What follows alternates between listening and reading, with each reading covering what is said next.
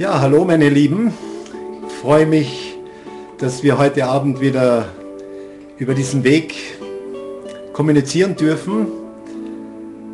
Ich freue mich, dass ihr dabei seid und dass sich einige schon eingeschaltet haben, andere vielleicht noch dazukommen.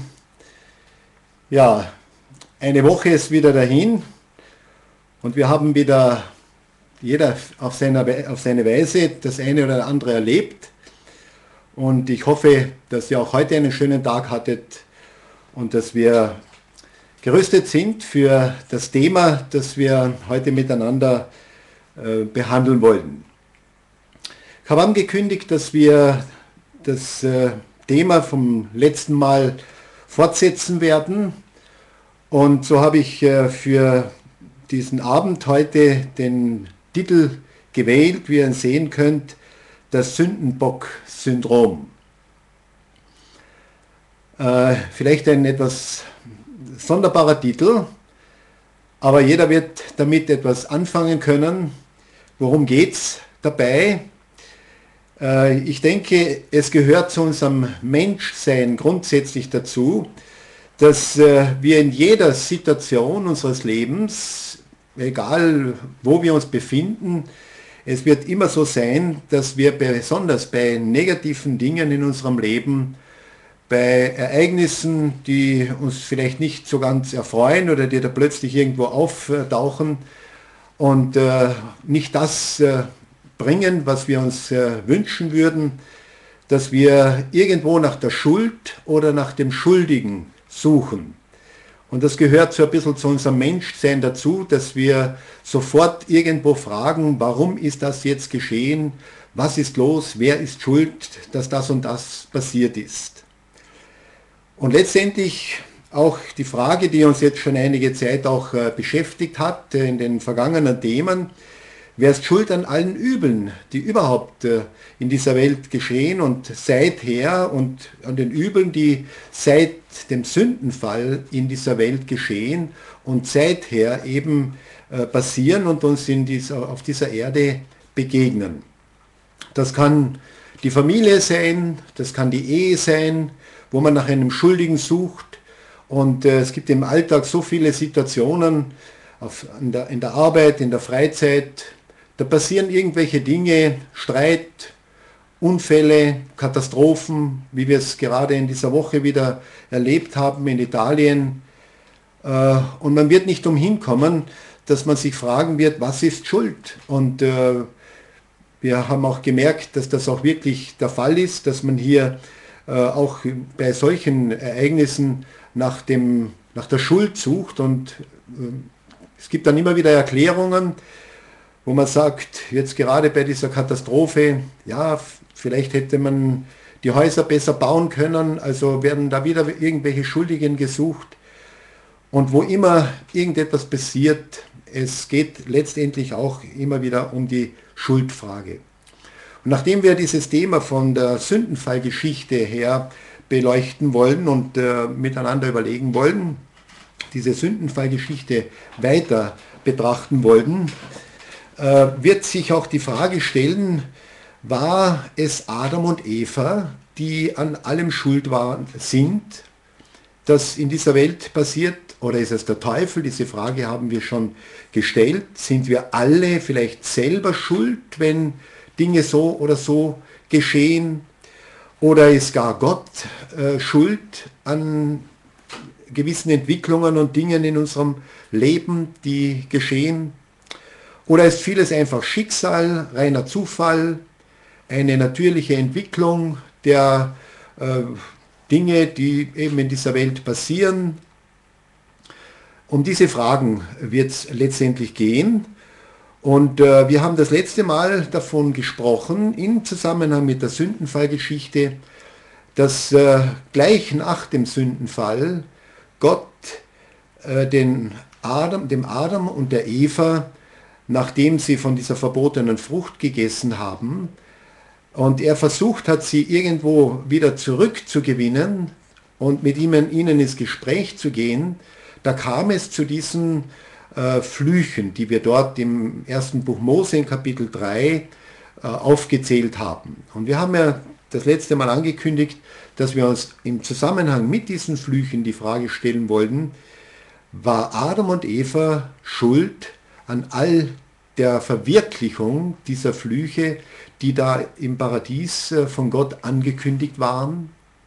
Das wird das Thema sein, mit dem wir uns heute beschäftigen wollen. Und es ist sicher ein, ein heikles Thema äh, mit viel Hintergrundverständnis, äh, das wir dazu brauchen.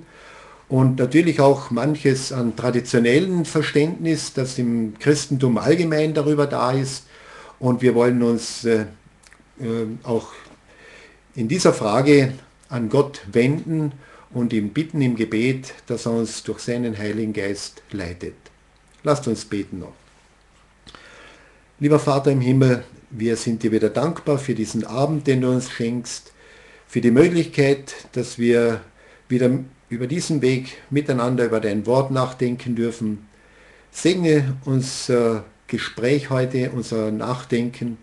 Gib, dass dein Heiliger Geist unsere Gedanken lenkt dass wir auf die wichtigen Dinge aufmerksam werden und dass wir auch das verstehen, was du in deinem Plan für diese Welt vorgesehen hast und was du trotz der Sünde, die in diese Welt gekommen ist, was du aus dieser Welt machen wolltest und was du auch weiterhin noch für Absichten hast.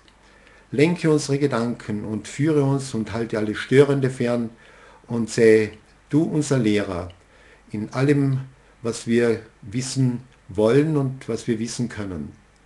Hab Lob und Dank, dass du bei uns bist, in Jesu Namen. Amen. Schön. Äh, ich habe hier ein, eine Studie, die den Titel trägt, eine kleine Studie, ein Leitfaden für ein Thema von einem äh, Theologen, der hier eine Studie gemacht hat über Jesus, unser Stellvertreter. Das ist eine Studie, die äh, vor allen Dingen den Erlösungsplan in kurzen Zügen darstellen sollte.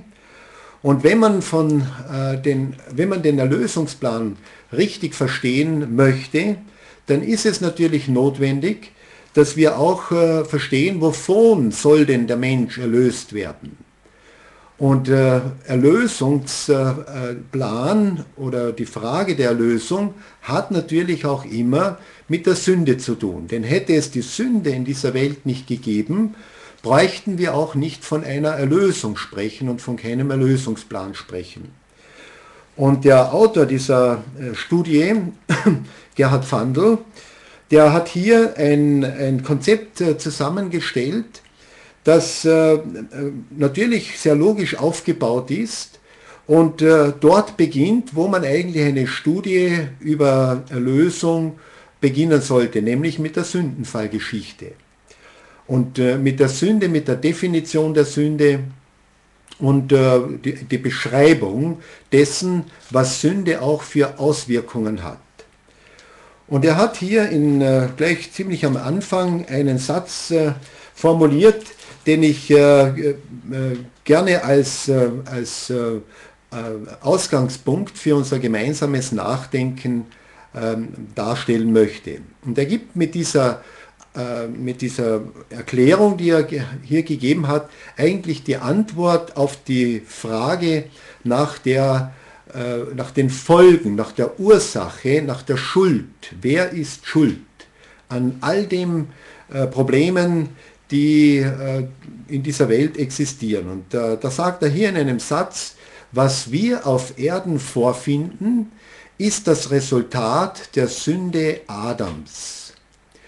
Ich habe über diesen Satz äh, oft und oft, ich habe diese Studie schon öfters in den Händen gehabt und immer wieder auch äh, äh mir sie genauer angeschaut. Und ich habe eigentlich über diesen Satz äh, zunächst einmal total drüber gelesen bis mir dann irgendwann mal äh, aufgrund einer tieferen Auseinandersetzung mit diesem Thema des Sündenfalls und den Folgen des Sündenfalls äh, doch etwas aufgefallen ist an, dieser, an, dieser, an diesem Satz, was wir auf Erden vorfinden, ist das Resultat der Sünde Adams. Und da habe ich mir die Frage gestellt, ist das wirklich so? Kann man wirklich sagen, dass Adam also in dem Fall der große Sündenbock ist, dass äh, seine Sünde allein oder die Sünde Evas natürlich, die vor Adam ja begangen wurde, äh, ist diese Sünde dieser zwei Menschen, dieser zwei Urmenschen alleine schuld für all die Übel, die wir heute in dieser Welt äh, äh, zu erleben haben und miterleben. Vielleicht auch am eigenen Leib. Stimmt das? War in dem Fall auch Adams Sünde schuld an der Erfüllung all der Flüche, die wir dort im ersten Buch Mose im Kapitel 3 äh, vorgefunden haben und der, über die wir das letzte Mal, die wir da schon gelesen haben und was bisher sich alles an dem erfüllt hat in dieser Welt. Eine Frage, die äh, wirklich wert ist, dass man sie nachdenkt, dass man darüber nachdenkt. Äh, das hat auch mit der Frage zu tun, war Adams und Evas äh, Sünde unausweichlich für alle negativen Entwicklungen verantwortlich, die also bisher diese Welt erlebt hat. Und ich habe da eine, eine, eine Aussage von äh, Ellen White, eine inspirierte Schreiberin aus dem 19. Jahrhundert. Und zwar in einer Zeitschrift Review und Herald äh, habe ich sie gefunden. Und da schreibt sie sehr bemerkenswerte Dinge. Und ich werde äh, sie heute einige Male zitieren, weil ich denke, dass sie äh, sehr wichtige Aussagen gemacht hat, die es wert sind, äh, überlegt zu sein. Und da heißt es hier, Adam und Eva übertraten das Gesetz Gottes, sie aßen von der verbotenen Frucht und wurden von, Eden vertrieben. Wir könnten uns sehr freuen, wenn dies der einzige Sündenfall gewesen wäre, dort im Paradies, im Garten Eden. Aber so war es nicht, wie wir wissen. Sie sagt hier, doch seit dem Fall von Adam und Eva gab es in der Geschichte der Menschheit eine Aufeinanderfolge von Sündenfällen. Und da stellt sich äh, für mich die Frage, stimmt das wirklich? Ich war also äh, auch selbst als, als Verkündiger des Evangeliums, als Prediger, eigentlich nie so richtig gewohnt, äh, von äh, mehreren Sündenfällen zu sprechen, von einer ganzen Reihenfolge, Reihenfolge, Aufeinanderfolge von Sündenfällen. Aber wenn das stimmt, dass es so ist, dann müssten wir uns ja die Frage stellen, warum sprechen wir dann in unserer, in der Theologie, in der christlichen Theologie, immer nur eigentlich von einem Sündenfall, der Sündenfall. Und äh, in dem Fall Einzahl. Wenn es eine Reihenfolge gibt, wie es hier in diesem Text gesagt wird, dann äh, was ist damit gemeint?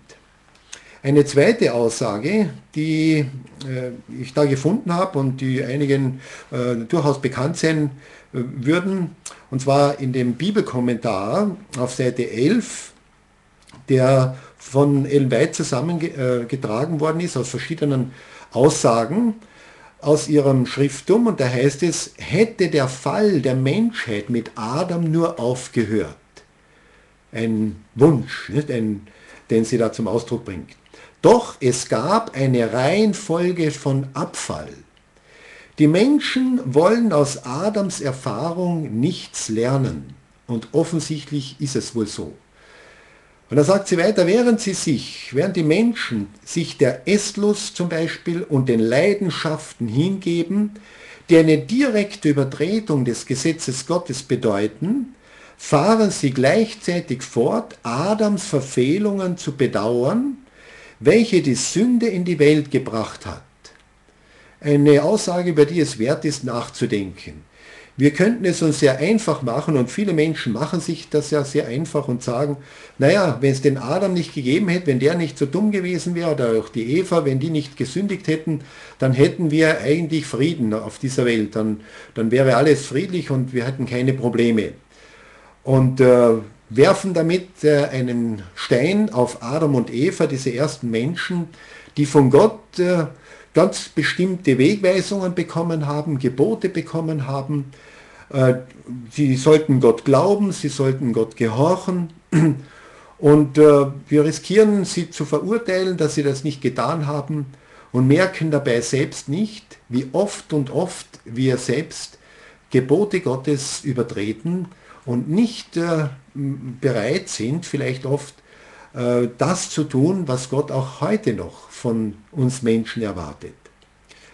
Und wenn sie hier sagt, hätte der Fall der Menschheit mit Adam nur aufgehört, ist das nicht ein Wunschdenken, das man hat? Hätte der Fall der Menschen nach der ersten Sünde überhaupt aufhören können? Eine Frage, die äh, in diesem Zusammenhang durchaus angebracht ist, wäre es prinzipiell möglich gewesen, dass es bei dieser einen Sünde im Paradies geblieben wäre, bei diesem einen Ungehorsam, den äh, diese Menschen damals gemacht haben, ist das rein theoretisch, wäre es rein theoretisch möglich, oder waren die Menschen, seit Adam gesündigt hat, gezwungen, einfach zu sündigen? War da etwas, was sie einfach dazu gezwungen hat, wo sie nicht mehr anders konnten? Und über äh, diese Frage äh, denken ja heute Theologen sehr unterschiedlich. Es gibt äh, ganz deutlich die Meinung unter christlichen Theologen, dass ab dem Augenblick, wo Eva zu dieser Frucht gegriffen hat und Adam dann ebenfalls von dieser Frucht gegessen hat, war es unmöglich für sie, weiterhin noch treu, Gott treu zu sein und nicht weiter zu sündigen. Äh, das hat dazu geführt in der Kirchengeschichte, dass man so weit gegangen ist, dass man diese Idee sogar der Erbsünde äh, aufgebracht hat.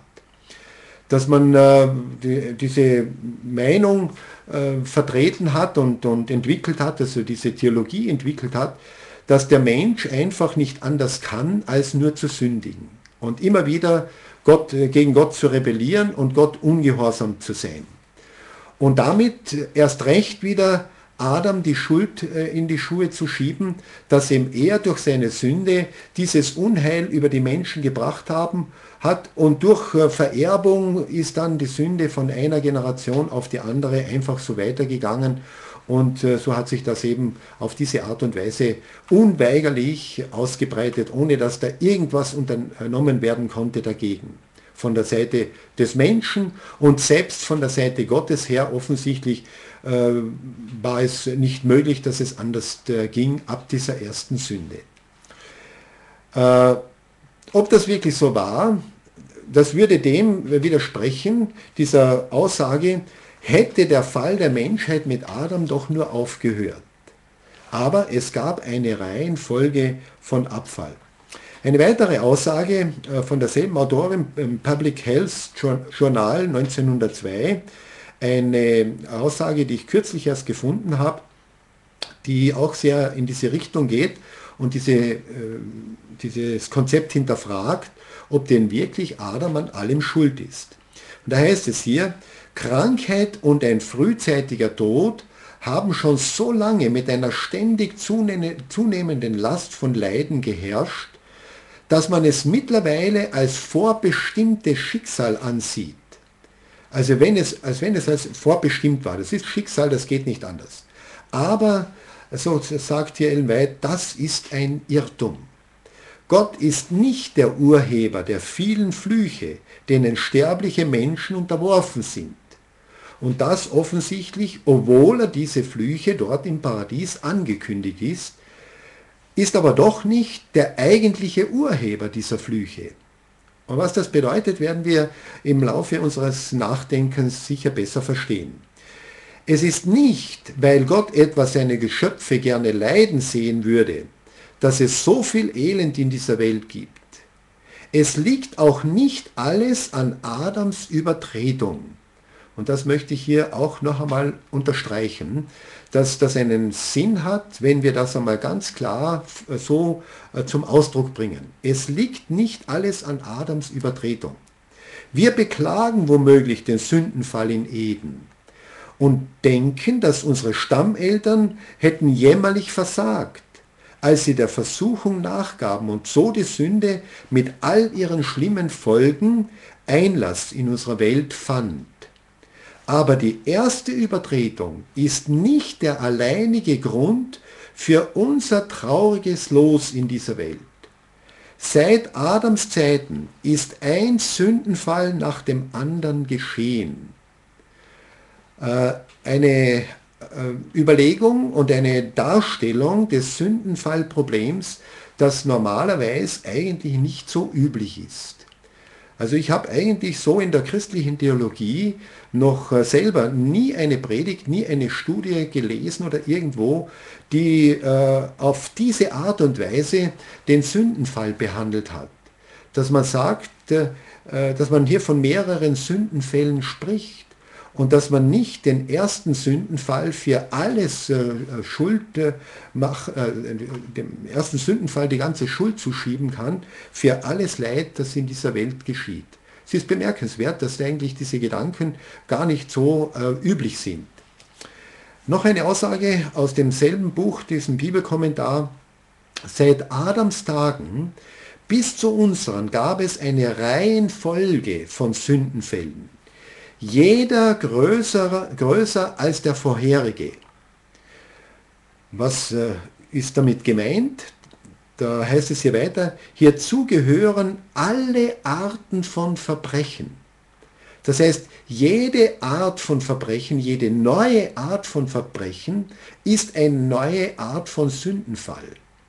Und ich denke, wenn wir in die Weltgeschichte zurückschauen, dann müssen wir uns die Frage stellen, wie viele Arten von Verbrechen hat sich der Mensch ausgedacht. Und wenn wir heute so unsere Medien anschauen, dann muss man sagen, es hört ja nicht auf. Man liest immer wieder, fast jeden Tag jetzt schon bald äh, von neuen Verbrechen, die auf eine ganz andere Art und Weise geschehen sind, als sie äh, bisher gekannt waren. Und ich denke, wir haben einige Beispiele in unserer Neuzeit, auch hier in Österreich, was sich Menschen für Grausamkeiten ausgedacht haben. Das heißt, zu diesen Reihenfolgen von Sündenfällen gehören auch solche Art von Verbrechen. Dies war nicht in Gottes Vorhersehung bestimmt, heißt es hier in diesem Text weiter, sondern ist seinem Willen gänzlich entgegen. Und das auch trotz des Sündenfalls. Es konnte niemals Gottes Wille gewesen sein, dass nach dem ersten Sündenfall Gott es in seiner Absicht hatte und dass es seinem Willen entsprochen hätte, dass jetzt ab dieser ersten Sünde ein Verbrechen nach dem anderen sich fortsetzt und eines größer und schlimmer wird als das andere, bis die Erde ein, ein, ein ganzes Schlachtfeld ist, wie wir es ja in der Geschichte immer wieder erlebt haben und auch heute noch so beobachten können dann müssen wir uns natürlich die Frage stellen, ja, hat denn Gott selber etwas dazu beigetragen, dass es eventuell, dass diese Sündenfälle eventuell nicht so fortgesetzt werden äh, sollten? Hat Gott etwas dazu getan, um solche Verbrechen eventuell auch zu verhindern, trotz dieser ersten Sünde, die da im Paradies begangen worden ist? Gab es Hilfe dagegen? Und ich denke, wir haben hier einen, einen sehr interessanten Text gleich am Anfang äh, der Bibel, wo aus dem schon ein gewisser Gedanke abgeleitet werden kann, dass hier Gott sehr wohl etwas getan hat, um äh, diesem Übel, das er zwar auf der einen Seite angekündigt hat, diese Folgen der Sünde, dass ihnen doch ein Riegel vorgeschoben werden kann. Und äh, da gibt es diesen Text in 1. Mose 3, Vers 15, wo es heißt, wo Gott sagt zur Schlange, zu der er hier spricht, und ich will Feindschaft setzen zwischen dir und dem Weibe und zwischen deinem Nachkommen und ihrem Nachkommen. Da spricht Gott von einer Feindschaft, die gesetzt werden sollte zwischen dieser Schlange, das heißt ein Sinnbild für den Teufel, und die Frau, Eva als buchstäbliche Frau, aber gleichzeitig ein Sinnbild auch für die, die Menschheit, wenn man so möchte, für die Nachkommenschaft der Frau, auch ein Bild für die gläubige Menschheit, die dann später in der Bibel auch unter einem Frauenbild dargestellt wird. Und äh, oft wird dieser Text hier von dieser Feindschaft auch sehr äh, einfach in der Weise interpretiert, dass man sagt, aha, ja, seit der Sünde gibt es hier einfach eine Feindschaft zwischen Gut und Böse. Das kann man auf diese Art und Weise sehen und das ist auch so, dass wir, wie wir das äh, erleben in dieser Welt, äh, gibt es diese Feindschaft offensichtlich. Aber äh, wenn Gott diese Feindschaft setzt, dann muss das nicht unbedingt etwas Positives, Negatives sein, denn das würde ja dann bedeuten, dass Gott hier nach seinem Plan dieses dieses Böse gesetzt hat, das sich ständig mit, den, mit dem Guten im, im, im Streit sieht. Gott konnte hier nicht etwas vorprogrammiert haben, sondern er, äh, wir müssen das eher im positiven Sinne sehen, dass Gott hier die Möglichkeit gegeben hat, eine Feindschaft dem Bösen zu bieten. Und das Böse in Person ist er hier nicht irgendein Mensch von Anfang an. Im Paradies hat es ja noch keine bösen Menschen gegeben, gegen den man irgendwo eine Feindschaft aufbauen müsste, sondern äh, im Paradies gab es eigentlich nur diese sogenannte Schlange, äh, und ein, äh, die ein Sinnbild für Satan war. Und in erster Linie sollte hier, wollte Gott hier eine Feindschaft äh, im Menschen setzen, die diesem, diesen Teufel äh, Stirn bieten sollte und ihm eine Feindschaft entgegenstellen sollte. Das heißt, eine Kraft zu bekommen, eine Einstellung zu bekommen, die sich gegen das Böse wendet. Wir werden äh, äh noch äh, das, in einem nächsten Thema auf diese Stelle noch viel intensiver eingehen, weil das ein ganz wesentlicher Text ist, der auch sehr stark mit Erlösung zu tun hat und mit dem, was Gott hier vorgesehen hat. Aber für heute möchte ich das einfach einmal so darstellen, dass Gott hier in diesem Text, in diesem Gedanken der Feindschaft eigentlich etwas ähm, den Menschen verheißen hat, wodurch er äh, dem Bösen Widerstand leisten äh, sollte. Und äh, das, was uns in der Bibel ganz allgemein äh, offenbart wird, wodurch der Mensch äh, dem Bösen Widerstand leisten kann, das kann nur eine göttliche Kraft sein. Entweder ist es Gott selbst, oder es ist der Heilige Geist, oder es ist Jesus Christus. Äh, wir können im Grunde genommen diese Trinität, diesen dreieinigen Gott, äh, nicht voneinander trennen, in dem Sinn, dass äh, nur einer von ihnen etwas tut, damit dem Menschen geholfen wird, dass er dem Bösen Widerstand leisten kann. Ich denke, die, der ganze Himmel äh, hat sich eigentlich auf die Seite des Menschen gestellt, trotzdem, dass es sich gegen ihn gestellt hat. Und wir haben dieses, äh, diese, diese, die, den Beweis dafür dort im Garten Eden, wo Gott den Menschen nicht einfach dahingegeben hat, nachdem er gesündigt hat, sondern wo er in eine Verbindung mit ihm gegangen ist. Das heißt, Gott hat den Menschen die, die Möglichkeit gegeben, mit ihm in einer Verbindung zu bleiben, in eine Verbindung zu gehen, äh, nach seinen Gesetzen zu leben, weiterhin nach seinen Geboten zu leben. Und Gott hat dem Menschen auch ein Gewissen gegeben, das ihn lenken sollte und das ihn vor bösen und vor verkehrten Vorstellungen und vor verkehrten Tun auch bewahren sollte. Natürlich gab es dann auch diese, die Folgen der Sünde, das heißt, jede Sünde, die der Mensch begangen hat von Anfang an, hat er seine Folgen gehabt. Und auch aus diesen Folgen sollte ja der Mensch lernen. Und wir wissen, wie schwer wir uns dann manchmal tun, wenn wir unsere eigenen Kinder beobachten, wie, äh, wie, wie sie geneigt sind, die, die Fehler all der Menschen, die vor ihnen gelebt haben, immer wieder selber zu machen. Und wir als Eltern in unserem Erziehungskonzept äh, tun es oft sehr schwer, den Kindern verständlich zu machen, warum es notwendig ist, auch aus den Fehlern zu lernen, die andere gemacht haben vielleicht und die man vielleicht dann auch selber gemacht hat. Aber ich denke, wenn wir in die Weltgeschichte zurückschauen, dann äh, merken wir, dass der Mensch aus den Fehlern der Vergangenheit und auch aus seinen eigenen Fehlern schwerlich äh, bereit ist, etwas zu lernen. Und das hat sich so in der ganzen Geschichte hindurchgezogen.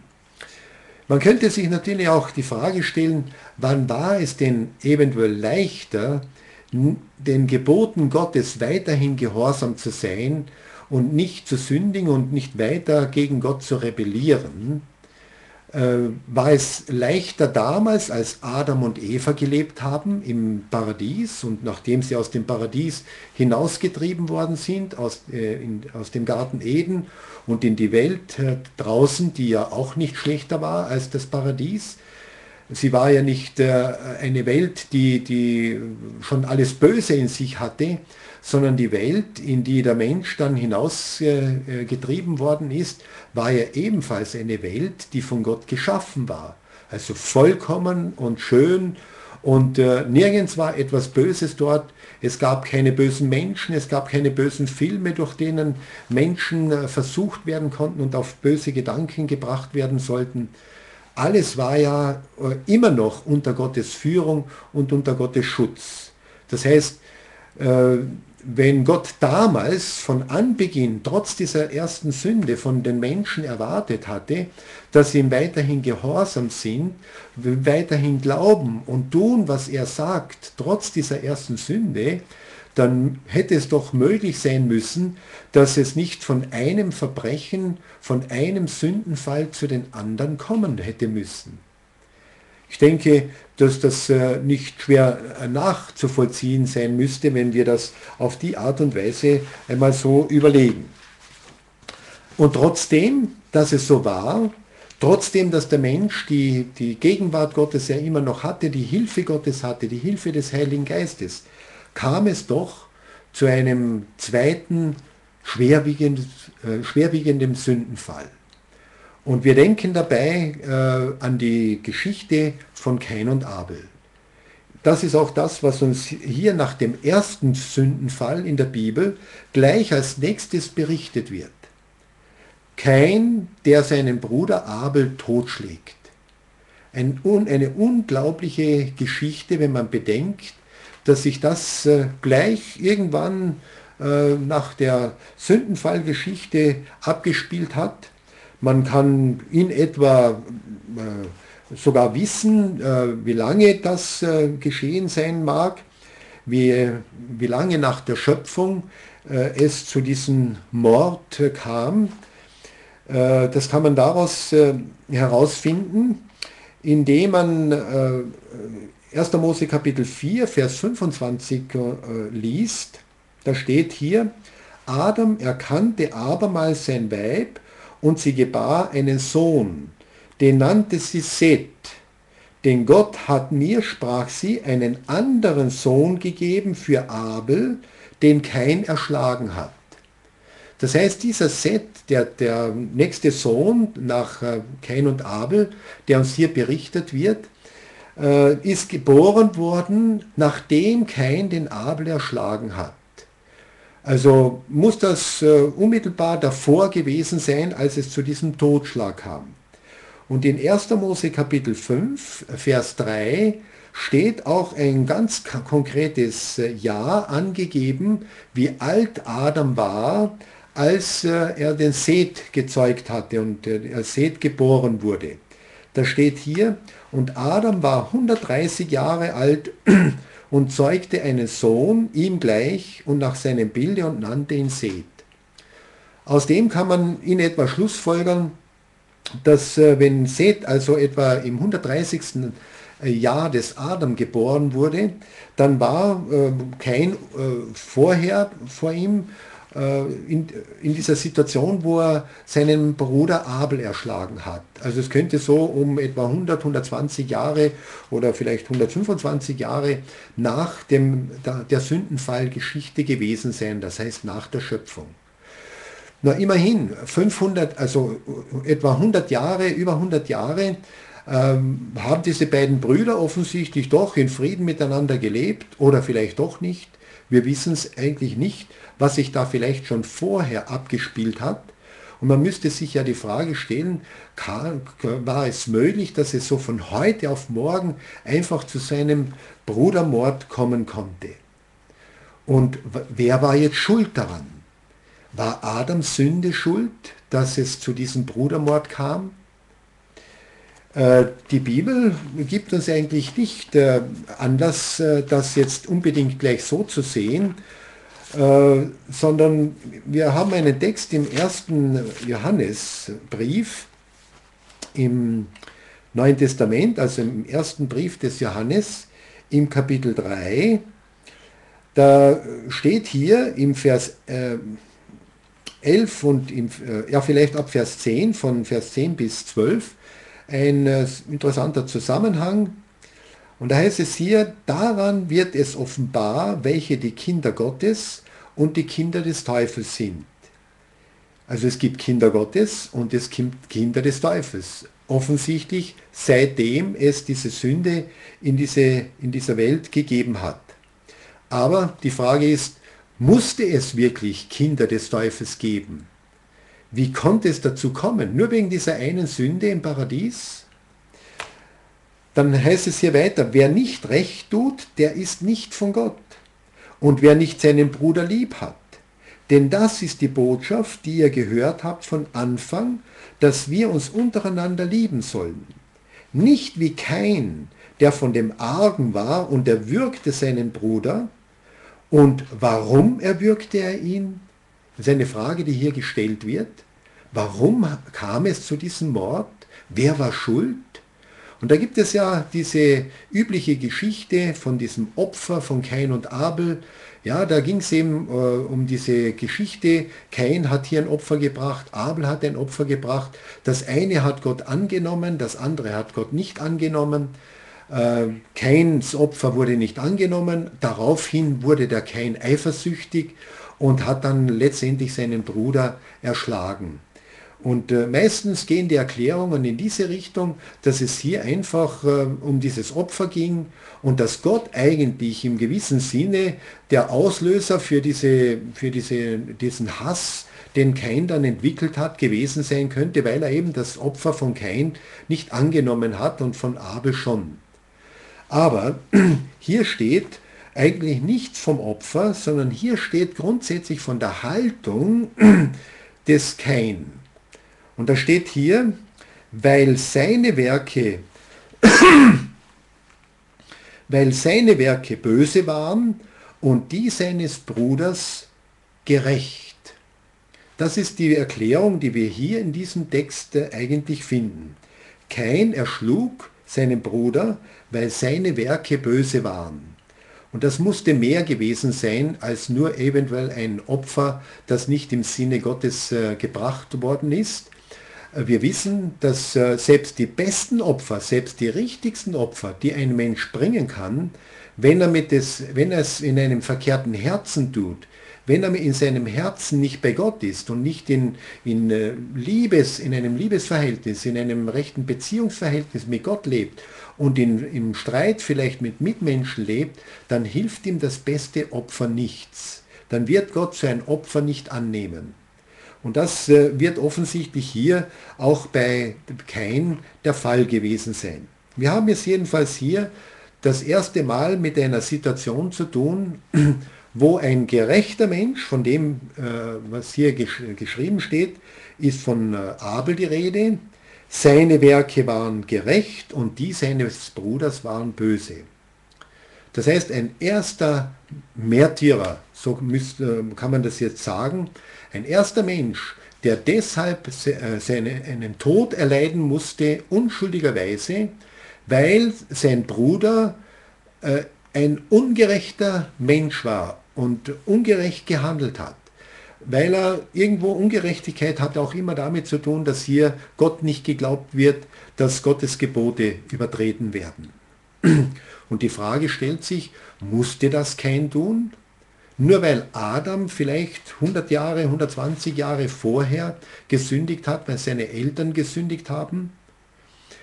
Ich habe hier, Entschuldige, jetzt muss ich mir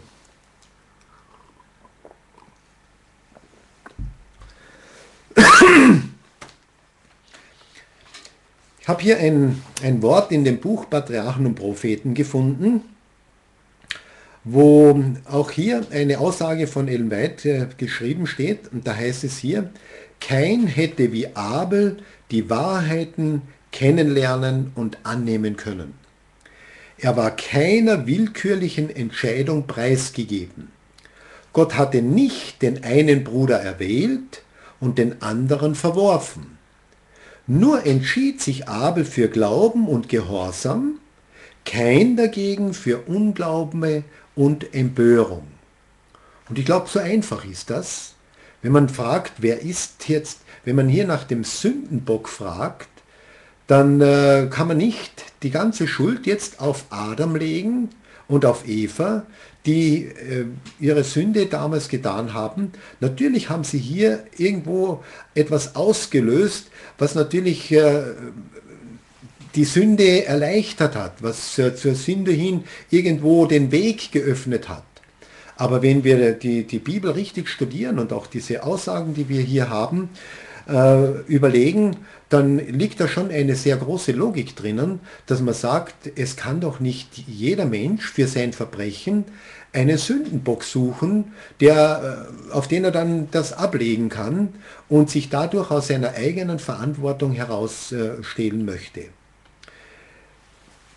Adam äh, oder Kain war genauso nicht äh, gezwungen, äh, etwas Verkehrtes zu tun, wie auch Adam und Eva ursprünglich nicht äh, gezwungen waren, gegen Gott gehorsam zu sein und äh, ungehorsam zu sein, vielmehr. Ja? Man kann auch bei Kain die Frage stellen, hat Gott bei, bei ihm etwas getan, hat Gott ihm gegenüber etwas getan, um ihn vor diesem Übel, das vielleicht in ihm aufgekommen ist, wo da irgendwo Gedanken gekommen sein mussten, hat Gott etwas getan, damit der Kain irgendwo eine Feindschaft entwickeln konnte gegen das Böse, gegen dieses äh, äh, teuflische Element, äh, das sich da in seinem äh, Gedanken breit gemacht hat.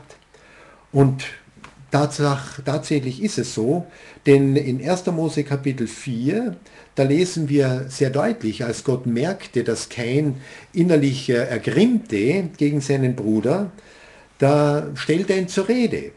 Und da heißt es hier in 1. Mose Kapitel 4, Vers 6, da sprach der Herr zu Kain, warum ergrimmst du? Warum senkst du deinen Blick? Ist nicht also, wenn du fromm bist, so kannst du frei deinen Blick erheben. Bist du aber nicht fromm, das heißt, hast du schlechte Gedanken, bist du nicht rein, äh, bist du äh, nicht heilig, so lauert die Sünde vor der Tür und nach dir hat sie Verlangen, du aber herrsche über sie. Und hier haben wir einen ganz deutlichen Auftrag, den Gott trotz des Sündenfalls im Paradies für, die, für Kain gegeben hat, aber gleichzeitig auch in dem Fall für alle seine Nachkommen. Und für alle Nachkommen von Adams und Eva galt hier ganz deutlich dieses Wort, die Sünde lauert vor deiner Tür.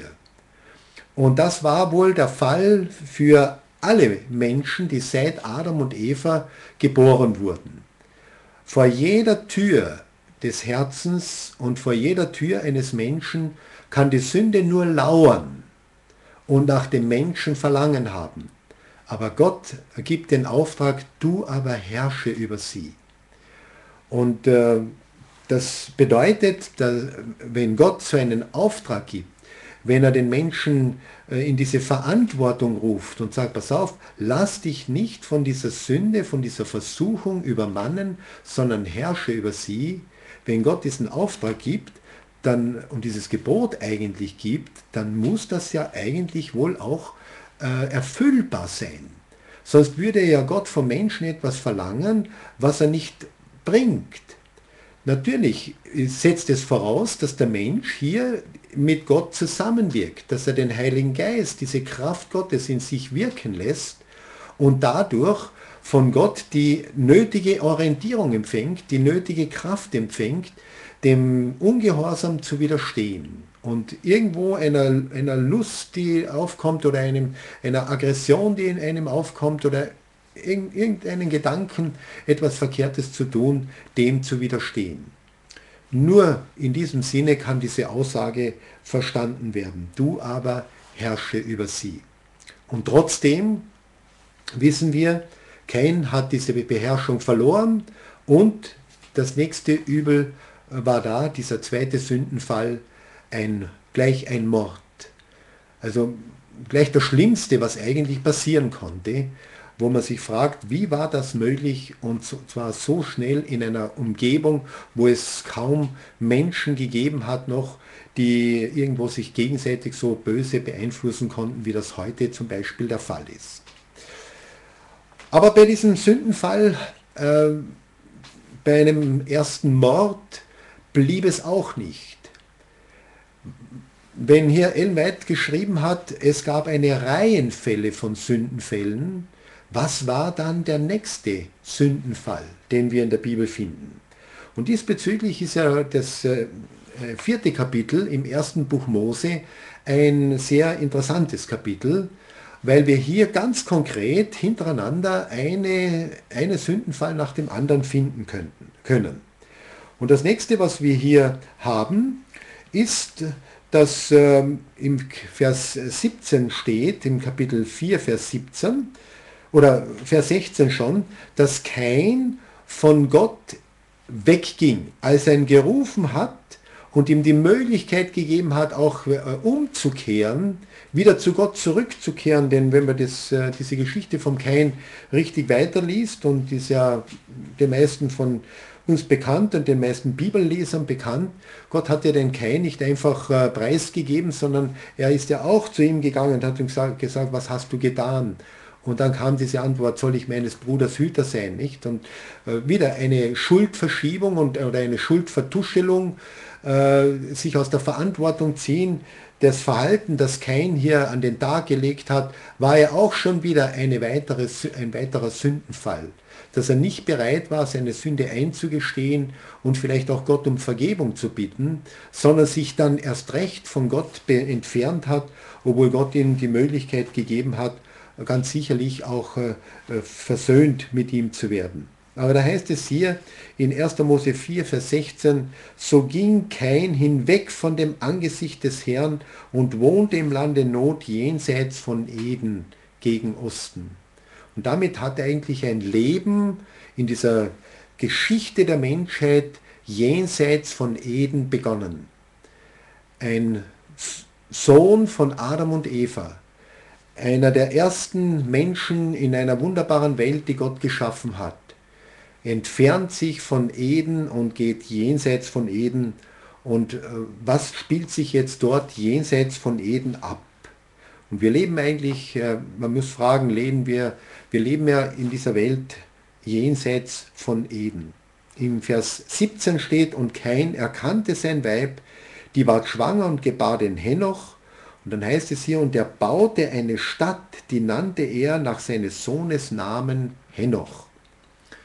Ein Städtebauer wurde Kain.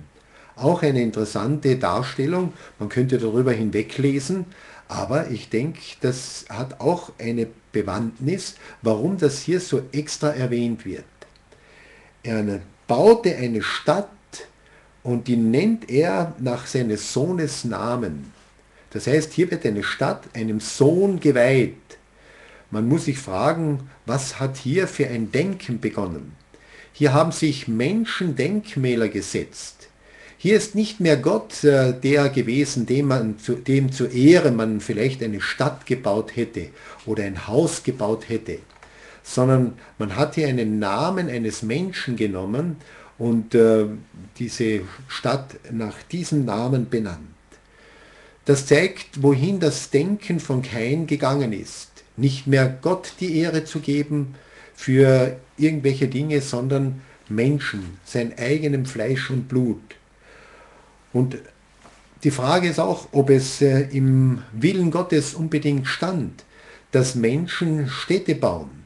Wenn die ganze Erde ein schönes äh, Feld ist und man sich auf dieser ganzen Erde ausbreiten konnte, warum baut der hier dann eine Stadt? Und äh, in, seither wissen wir, hat es immer wieder Menschen gegeben, die Städte gebaut haben und die sich in Städten zusammengefärbt haben. Und diese Städten sind auch Brutstätten für Kriminalität geworden und Brutstätten für Verbrechen. Ähm, bis heute können wir das beobachten und das war offensichtlich auch, wenn wir in die Altertumsgeschichten hineingehen, war es nicht viel anders. Auch eine Auswirkung, ein weiterer Sündenfall, der hier passiert ist. Und wir haben auch in dieser Geschichte, wenn wir im Vers 23 weiterlesen, oder zuerst im Vers 19 haben wir eine weitere Sündenfallgeschichte, ein weiterer Sündenfall. Da ging es in den moralischen Bereich. Und da wird von Lamech gesprochen, der hier als der siebente nach Adam aufgezählt wird. Und da heißt es hier im Vers 19, Lamech aber nahm zwei Frauen, eine hieß Ada und die andere Zilla. Das war auch nicht Gottes Plan. Gott wollte, dass der Mensch eine Einehe führt und dass Mann und Frau ein Fleisch werden und dass sie für immer ein, eine Ehe haben und diese Ehe nicht gebrochen werden sollte, sondern aus dieser Ehe eine gesunde Familie entsteht, Kinder entstehen, die in Harmonie aufwachsen können und dort äh, in Harmonie geboren werden können. Und plötzlich kommt da ein Mensch auf die Idee, dieses, diese Regel Gottes, die er von Anfang an äh, von Adam und Eva äh, festgelegt hat, dass es hier zu einer Einehe kommen sollte, dass das gebrochen wurde eine Geschichte, die sich dann weiterentwickelt hat, wo wir dann äh, im Kapitel 6 äh, vor der Sintflut äh, diese Geschichte vor der Sintflut haben, wo es dann heißt, als aber die Menschen sich zu mehren begannen auf Erden und ihnen Töchter geboren wurden, da sahen die Gottessöhne, wie schön die Töchter der Menschen waren und nahmen sich zu Frauen, welche sie wollten. Und Jesus hat ja auch äh, in seinem Endzeit-Kapitel in Matthäus 24 darauf aufmerksam gemacht, dass äh, es hier eine Entwicklung gegeben hat, wie sie am Ende der Zeit wieder sein wird. Wo die Menschen heirateten, sich und freiten und wieder sich heiraten und eine Welt, die damals äh, so begonnen hat und die wir heute nur mehr fast so kennen.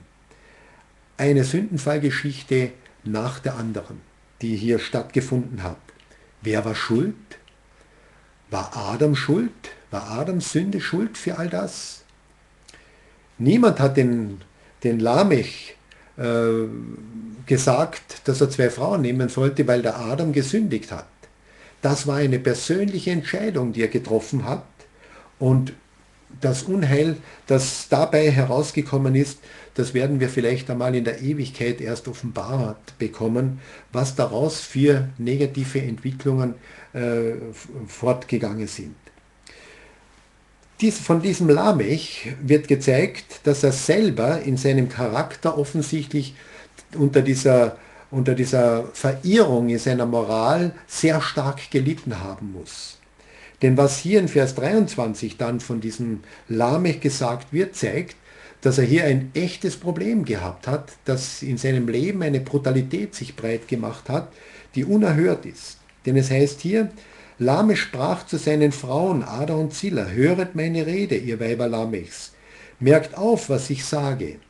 Einen Mann erschlug ich für meine Wunde und einen Jüngling für meine Beule. Also wenn das nicht eine Brutalität ist, die sich hier in diesem Menschen breit gemacht hat, dann äh, weiß ich nicht was. Einen Mann zu erschlagen für eine Wunde und ein Kind, einen Jüngling für eine Beule, die er ihm irgendeiner zugefügt hat, das ist äh, eine Brutalität, eine Grausamkeit, die nahe an das herankommt, was wir heute vielleicht da und dort auch äh, schon erkennen können. Aber da sind wir 6000 Jahre später dran und dass sich das damals schon so intensiv entwickelt hat, das ist schon sehr bemerkenswert.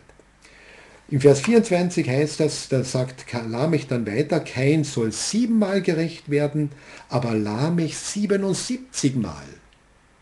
Und damit äh, sehen wir, dass hier eine Tür aufgebrochen worden ist für eine Entwicklung der Bosheit, wo ein Sündenfall nach dem anderen kam und wo äh, man nicht sagen kann, dass all, für all das letztendlich nur diese eine ursprüngliche Sünde schuld war. Denn nicht alle Menschen haben ja eine solche Entwicklung genommen.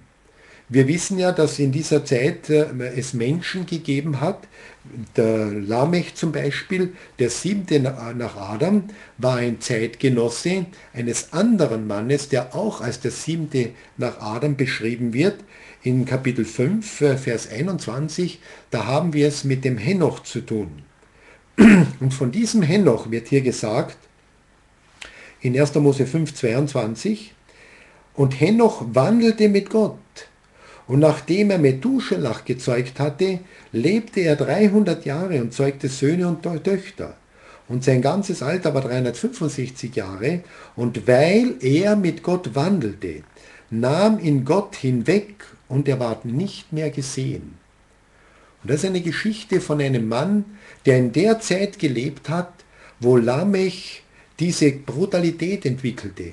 Und wo er wahrscheinlich mit seiner Brutalität nicht alleine geblieben ist, denn wenn er hier sagen konnte, Kain soll siebenmal gerecht werden, aber Abel 77 Mal, dann zeigt das hier schon, dass es hier seit Kain, äh, seit Kains Brudermord, dass es hier äh, eine Entwicklung in dieser Richtung ähm, äh, weitergegangen ist, die, die, die endlos war.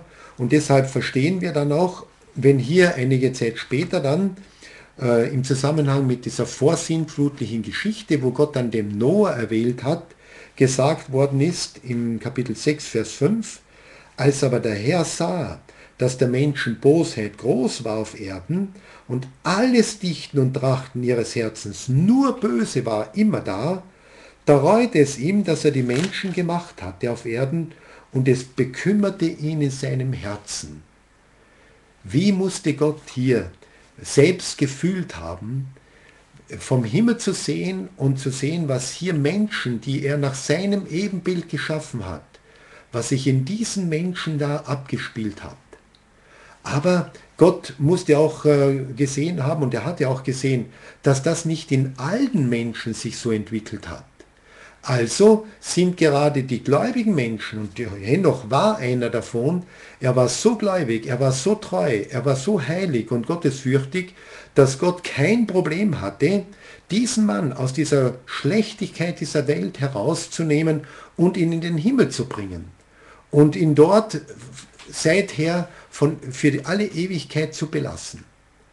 Ich denke, dass uns das zu denken geben sollte und dass äh, darüber eigentlich vielleicht in der christlichen Theologie viel zu wenig nachgedacht wird, dass hier äh, Gott die Möglichkeit geschaffen hat, dass Menschen trotz des Sündenfalls, trotz dieser ersten Sünde, ein solches Leben führen konnten mit der Hilfe Gottes, dass Gott sie letztendlich aus dieser finsteren Zeit schon in den Himmel nehmen konnte und wissen konnte, dass die reif sind für den Himmel und eine Ewigkeit dort äh, sein werden können, ohne je wieder auf die Idee zu kommen, weiterhin zu sündigen. Und wenn es Gott mit Henoch geschafft hat, wenn es mit einem Menschen geschafft hat, wenn es bei einem Menschen möglich war, dass diese Sünde nicht weitergeht in ihrem Leben, sondern dass sie der Sünde widerstehen und dass sie mit Gott wandeln, dann hätte das doch auch für alle anderen Menschen genauso stattfinden können. Dann kann man nicht sagen, dass die eine Sünde, die Adam und Eva getan haben, äh, automatisch, äh, unweigerlich zu all den Übeln führen konnte, die, es sich, die sich weiterhin in der Geschichte der Menschheit abgespielt haben.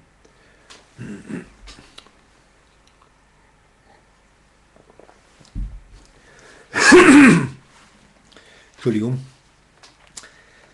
Steckt mir was im Hals. Ich habe hier eine weitere Aussage von, aus dem Buch Patriarchen und Propheten. Und da eine sehr äh, bemerkenswerte Aussage, die das jetzt bestätigen möchte, was wir hier äh, miteinander erarbeitet haben und gesagt haben. Da sagt hier Ellen White, hätten die vor der Sintflut lebenden Menschen der Warnung geglaubt und ihr Böses tun bereut, dann würde der Herr seinen Zorn genauso abgewendet haben wie bei Ninive. Das heißt, wir sind hier im Zusammenhang mit der Sündenfallgeschichte äh, wo, es, äh, wo die Möglichkeit äh, bestanden hat, dass auch diese Sintflut, die als Ankündigung für dieses böse Treiben der Menschen gedacht war, dass sie nicht unbedingt kommen müsste, dass sie auch nicht kommen hätte müssen. Wenn die Menschen auf die Warnungen, die ihnen gegeben worden sind, gehört hätten. Und schon vorher heißt es hier, hätten die Menschen mit Gott zusammengewirkt, von Anfang an, trotz des Sündenfalls, dann hätte es keine Kain-Anbeter gegeben. Das bedeutet, selbst nachdem Kain seinen Bruder erschlagen hat, hätte es nicht dazu kommen müssen, dass Kain noch so viele Anbeter bekommt. Und das ist eine sehr interessante Aussage, äh, von Kain-Anbetern zu sprechen. Das heißt, von Menschen, die offensichtlich dem Kain gefolgt sind in ihrem Tun. Und es ist ja sehr bemerkenswert, dass die, äh, die erste Person, die Kain gefolgt äh, war, obwohl er äh, ein, ein, ein, Mörder geworden ist seines Bruders, das war seine eigene Schwester, die er letztendlich geheiratet hat. Denn es, wir haben ja vorhin gelesen, er erkannte sein Weib und sie wurde schwanger und sie gebar in diesen Sohn, den Henoch. Und das war ja nur möglich, äh, dass äh, Kain konnte seine Frau nicht von irgendwo her haben, sondern Kains äh, Frau konnte nur aus dieser Familie des Adams gestammt haben. Und das heißt ja auch hier, dass Adam nicht nur Söhne gezeugt hat, sondern auch Töchter. Und ursprünglich war es eben so, das war der Plan Gottes, dass von einem Menschen alle Menschengeschlechter abstammen sollten. Und äh, offensichtlich war eine, eine, ein Kind von Adam und Eva, eine Schwester von Kain und Abel, bereit, mit diesem Kain eine Ehe einzugehen und eine Nachkommenschaft zu zeugen. Und die wir dann hier in Kapitel 4 schon äh, geschildert haben, aus denen dann so eine furchtbare Nachkommenschaft herauskam. Aber wenn die Menschen mit Gott zusammengewirkt hätten, wenn die, die weiteren Nachkommen, die da aus der Familie Adams gekommen sind, bei Gott geblieben wären, wenn sie gehorsam gewesen wären, dann hätte es keine, kein Nachfolger gegeben, so möchte ich das jetzt beschreiben. Der Text geht hier weiter und sagt sie, Abels Beispiel des Gehorsams wäre befolgt worden. Die Menschen hätten den Willen Gottes getan. Das heißt, es wäre möglich gewesen, dass Menschen den Willen Gottes tun, auch trotz dieser ersten Sünde. Sie hätten seinem Gesetz gegenüber gehorsam sein können und durch Gehorsam hätten sie Erlösung gefunden. In diesem Vertrauen zu Gott und diesem, diesem Vertrauen heraus in Gehorsam zu leben, Ellen White sagt hier ganz klar, sie hätten Erlösung gefunden. Das heißt, das Übel hätte sich nicht mehr endlos weiter verbreiten müssen in dieser Welt. Gott und das himmlische Universum hätten ihnen dabei geholfen, die göttliche Ähnlichkeit zurückzugewinnen. Gott hat den Menschen zu seinem Ebenbild geschaffen und er wollte nicht, dass dieses Ebenbild durch Jahrtausende hindurch sich immer mehr und mehr von Gott entfernt. Sondern hier haben wir eine Aussage, die es wert ist, dass wir sie ernst nehmen, dass wir ihr nachgehen und dass wir es überlegen, wenn es heißt, Gott und das ganze himmlische Universum, der ganze Himmel, die ganze Engelwelt, hätten den Menschen, diesen ersten Menschen, die von, aus der Familie von Adam und Eva gekommen sind, hätten ihnen geholfen, die göttliche Ähnlichkeit zurückzugewinnen. Und offensichtlich war das ja bei Henoch der Fall, der schon sieben Generationen nach Adam lebte. Und gerade aus dem Grund, wenn er nicht diese Ähnlichkeit Gottes, diese Gottähnlichkeit äh, gehabt hätte in seinem Leben, hätte es keinen Grund gegeben, warum Gott ihn da in den Himmel entrücken sollte. Langes Leben wäre erhalten geblieben und Gott hätte seine Freude am Werk seiner Hände gehabt. Die Erde hätte können in, in Frieden weitergehen. Warum in Unfrieden? Und äh, wenn sie hier sogar von Erlösung spricht, dann kann man fragen, ja, wenn Gott einen Menschen in den Himmel nehmen hätte, hat können, warum hätte er nicht schon alle anderen Menschen ja auch äh, hinnehmen können und ihnen das Paradies äh, besser zugänglich machen oder schneller zugänglich machen können. Äh, diese Aussage hier weiter hätten die Menschen dann vor der Sintflut die Warnung geglaubt, die auch durch Noah noch gegeben worden ist. würde der Herr seinen Zorn genauso abgewendet haben, als er schon die Sintflut angekündigt hat, wie er das später bei Ninive getan hat. Aber weil sie gegen besseres Wissen handelte und gegen die Warnungen des Propheten hartnäckig Widerstand leistete, machte jene Generation das Maß ihrer Ungerechtigkeit voll und wurde reif für die Vernichtung. Gott hat hier durch, Jonah, durch Noah die Sintflut angekündigt, einer Menschheit, die schon so äh, sich entwickelt hat, äh, Richtung des Bösen hin, dass sie nur mehr jeden Tag trachteten, was böse war.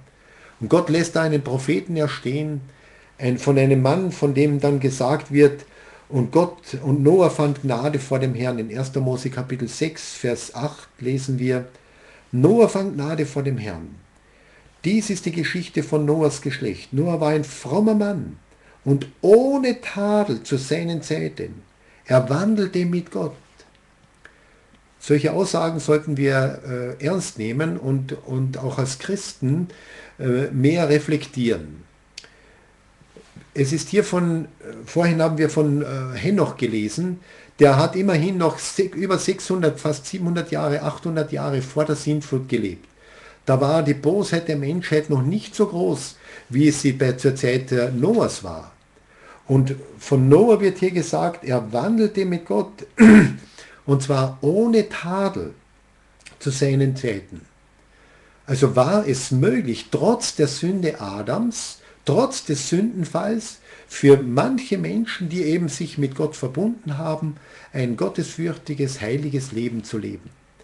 Wie anders hätte sich die Welt entwickeln können, wie anders hätte sich äh, die, die äh, Situation ergeben, äh, es hätte niemals zu einer Situation kommen können, wo es hier, wo es hier steht, alles Dichten und Trachten war nur böse, immer da, so dass es Gott sogar selber gereut hat, dass äh, er diese Menschen geschaffen hat und letztendlich entschieden hat, eine Sintflut über diese Welt hereinbrechen zu lassen. War Adams Sünde schuld an der Sünde, an der, an der Sintflut? Bei jeder äh, einzelnen Geschichte, die hier am Anfang der Bibel steht, müssten wir dieselbe Frage stellen. Und wir merken, eigentlich müssten wir immer äh, diese Frage beantworten, jede Generation und jeder Mensch ist für seine Sünden und für, seine, und für die Verbrechen äh, verantwortlich, die diese Generation oder dieser Mensch äh, vollbracht hat in, zu seinen Zeiten, in denen er lebte.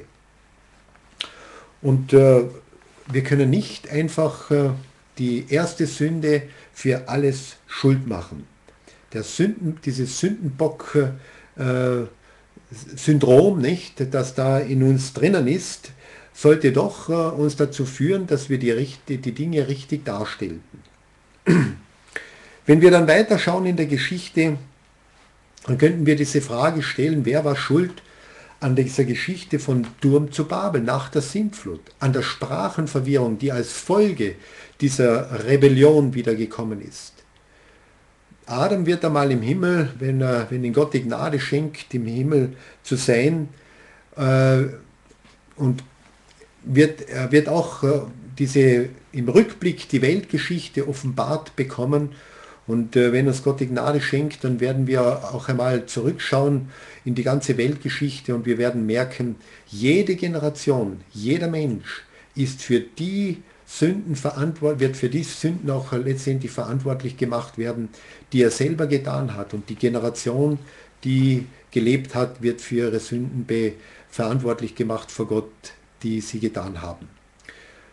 Sodom und Gomorra, eine weitere Geschichte, die uns in der Bibel äh, beschrieben wird. Niemand könne sagen, Sodom und Gomorra ist wegen der Sünde Adams äh, und Eva äh, in den Untergang gekommen und hat dieses Schicksal erlebt.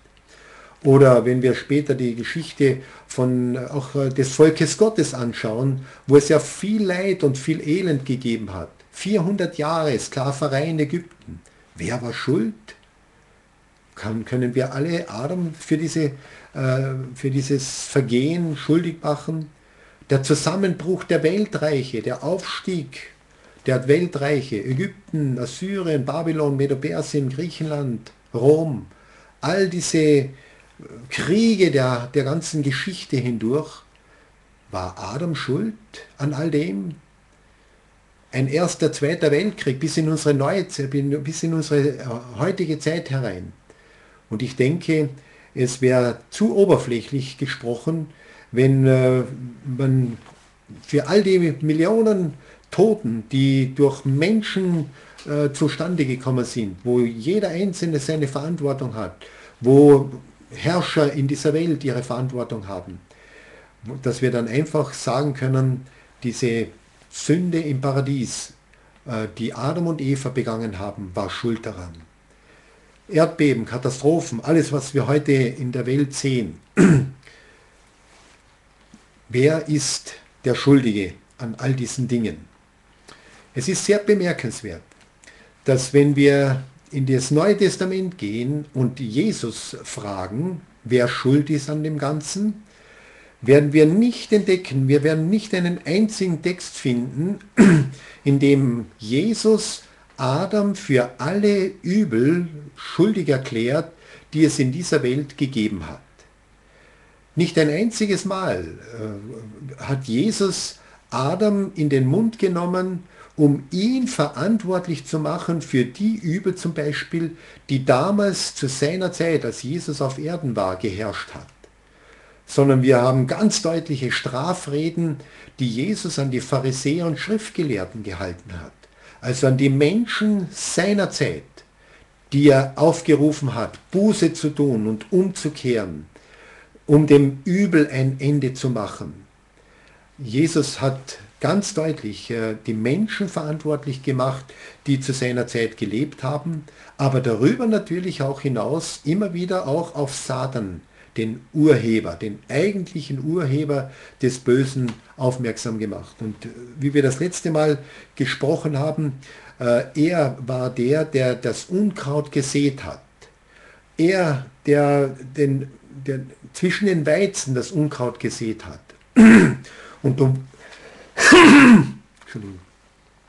und obwohl er das getan hat, ähm, hat auch Jesus nicht Satan allein für alles schuldig, äh, für schuldig erklärt.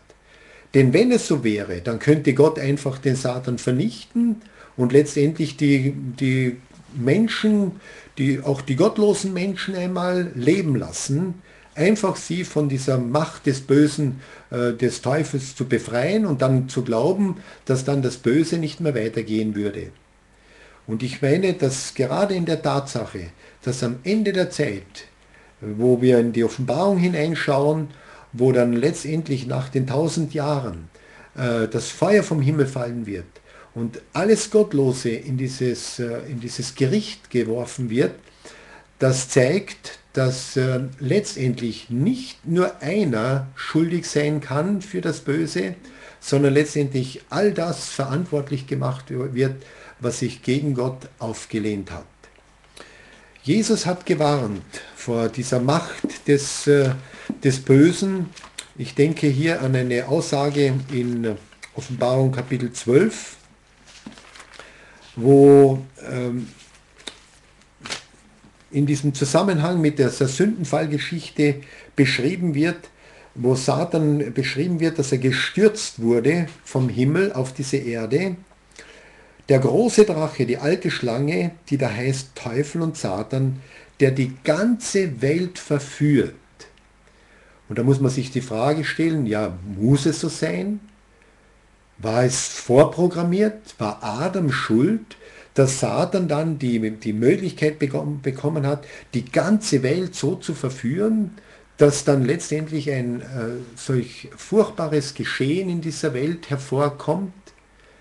Und ich denke, das, was wir heute Abend hier behandelt haben, was wir, wo wir diese Geschichten äh, uns äh, da etwas äh, in Erinnerung gerufen haben und bewusst gemacht haben, da können wir nur mehr sagen, dass äh, niemand gezwungen ist, sich verführen zu lassen. Gott hat alles getan, damit der Mensch äh, die Möglichkeit hat, der Verführung nicht nachzugeben. Jesus selbst ist in diese Welt gekommen, und er hat uns äh, durch sein Leben ein Vorbild gegeben, wie er selbst diesen, diesen Teufel, diesen brüllenden Löwen, nicht, der durch diese Welt geht, wie das der Apostel Petrus beschrieben hat, und sucht, welchen er verschlinge. Und Jesus selbst hat äh, im Johannesevangelium von diesem äh, Fürsten gesprochen, der in diese Welt kommt.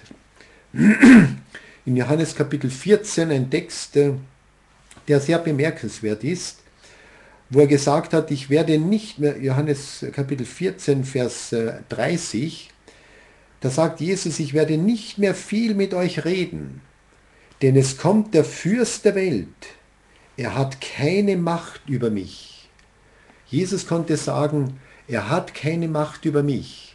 Und Jesus war ein Mensch wie wir. Und er ist, äh, hat als Mensch wie wir äh, in dieser Welt gelebt und ist ebenfalls von allen möglichen Menschen gehasst, äh, verspottet, verlacht. Und äh, wie viel Leid ist ihm angetan worden. Und wenn wir jetzt gerade in dieser Osterzeit sind, dann denken wir jetzt gerade in dieser Zeit an diese ganze Passionsgeschichte, wie, was man Jesus damals angetan hat, weil er bereit war, diesen Bösen nicht nachzugeben weil er bereit war, Feinde zu lieben und nicht Feinde zu hassen, weil er bereit war, für die Wahrheit einzustehen und sich keiner Lüge hinzugeben. Und was hat man getan mit ihm? Man hat ihn ans Kreuz genagelt und äh, man hat ihn verachtet, verspottet und ich würde jeden einzelnen von uns an diesem Wochenende besonders äh, empfehlen, einmal diese ganze Passionsgeschichte mindestens in einem Evangelium, vielleicht einmal in diesem Johannesevangelium, diese Passionsgeschichte noch einmal sich ganz äh, zu vergegenwärtigen. Und auch dort dann die Frage zu stellen, wer war schuld, dass Jesus ans Kreuz genagelt wurde? War Adam schuld und war die Sünde Adams und Eva schuld, dass die Generation, die damals gelebt hat, als Jesus auf Erden war, dann Jesus ans Kreuz genagelt hat? Ich denke, Satan ist es gelungen, den Menschen immer wieder einen, äh, den verkehrten Feind einzureden. Den Menschen immer wieder einzureden, wer schuld ist und die Schuldfrage wird ja bis heute immer sehr schwer geklärt. Äh, Gerichte haben große Probleme, die Schuldfrage immer wieder zu klären. Und offensichtlich gibt es auch im religiösen Bereich große Probleme, Wahrheit und Irrtum voneinander zu unterscheiden und auch diese Schuldfrage richtig darzustellen. Ich glaube nicht, dass Gott Adam äh, einmal verantwortlich machen wird für das, was die Generation gemacht hat, die damals gelebt hat, als Jesus äh, auf Erden war und die ihn gekreuzigt haben und die damals gerufen haben, ans Kreuz mit ihm. Und als Pilatus noch sich für Jesus einsetzte und, und sagte, was hat er denn Übles getan? Ein Mensch, auf dem man böse war und der nichts Übles getan hat, der für das Gute in dieser Welt eingestanden ist und den Menschen den Weg zum, zum ewigen Leben zeigen wollte. Und man hat ihn ans Kreuz genagelt und letztendlich Jesus, der dort am Kreuz noch ein wunderbares Vorbild gegeben hat für uns, die wir manchmal auch herausgefordert werden, und der dort am Kreuz gebetet hat, Vater, vergib ihnen, denn sie wissen nicht, was sie tun. Möge Gott uns diesen Geist Jesu schenken, dass wir auch in solchen extremen Situationen, wo wir gefordert sind, entweder zu sündigen, entweder unseren Lüsten, unseren Aggressionen äh, nachzugeben oder lieber einen qualenvollen Tod zu sterben, lieber verspottet und verlacht zu werden um des Glaubens willen, als der Sünde nachzugeben. Möge dieses Beispiel Jesu für uns alle auch in dieser Osterzeit in besonderer Weise eine, ein Ansporn sein, unser Leben neu zu überdenken und auch die Schuldfrage in unserem eigenen Leben richtig zu klären. Gott helfe uns und ich hoffe, dass diese Gedanken, die wir heute miteinander durchgedacht haben, doch den einen oder anderen auch einen Blick geöffnet haben, vielleicht in eine Richtung, die wir vielleicht so nicht gewohnt sind zu sehen. Aber wir wollen nicht die Schuld woanders suchen als dort, wo sie Gott sucht. Gott möge uns segnen, euch alle, die jetzt zugehört habt. Und äh, wir wollen in diesem Sinne Gott danken, dass er uns durch sein Wort auch immer wieder die rechte Orientierung schenkt. Lasst uns noch abschließend miteinander beten dafür. Lieber Vater im Himmel, wir sind ja wieder dankbar für diese Zeit, die du uns geschenkt hast, für die Möglichkeit, dass wir über dich nachdenken dürfen, über das, was Sünde in dieser Welt angerichtet hat und was sie immer wieder neu erfindet. Herr, wir wollen dich bitten, dass du uns hilfst, aus diesen negativen Erfahrungen der Vergangenheit zu lernen und auch unser Leben immer wieder neu zu ordnen und mit dir in Übereinstimmung zu leben. Schenk uns den tiefen Glauben, eine tiefe Beziehung zu dir und gib, dass wir bereit sind, ein Leben zu leben, das deinem Ebenbild ähnlicher wird. Vergib uns unsere Schuld und vergib uns alle unsere Sünden, die wir immer wieder tun, aber gib uns auch die Kraft, der Sünde zu widerstehen und auch für andere Menschen ein Vorbild zu sein und so dir Ehre zu bereiten in dem, wie wir unser Leben gestalten. So segne alle, die jetzt auch mit dabei waren und äh, begleite uns weiterhin auch in dieser Osterzeit jetzt, dass wir in der rechten Besinnung auch diese Tage verbringen können.